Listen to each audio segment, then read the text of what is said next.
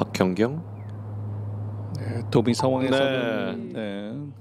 이렇게 박현경이 경기를 끝냅니다. 5앤 3로 김효문 선수를 꺾고 승점 1점을 획득하는 박현경 선수입니다. 네, 고생 많으셨습니다.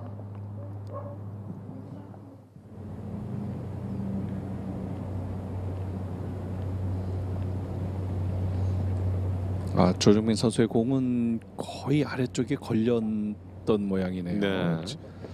그린이 전혀 안 보이는 상황에서의 지금 어프로치 샷이기 때문에 조금 더 길어서 그린 뒤쪽으로 넘어갔는데 이제 오히려 또 불리한 상황이 됐습니다.